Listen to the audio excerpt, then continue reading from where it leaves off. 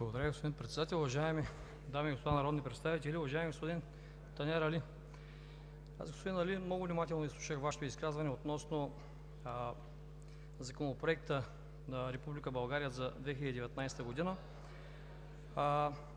Какво точно имахте предвид, когато казахте, че изравнителната субсидия, целевата субсидия за капиталови разходи, най-вече за зимната поддръжка и за снегопочистване, остават далеч под нивата, които биха осигурили едни по-качествени публични средства, като се има предвид, че в Бюджет 2019 г. точно за тези услуги са заложени 10 милиона повече, отколкото в Бюджет 2018 г. Точната сума е 294 милиона.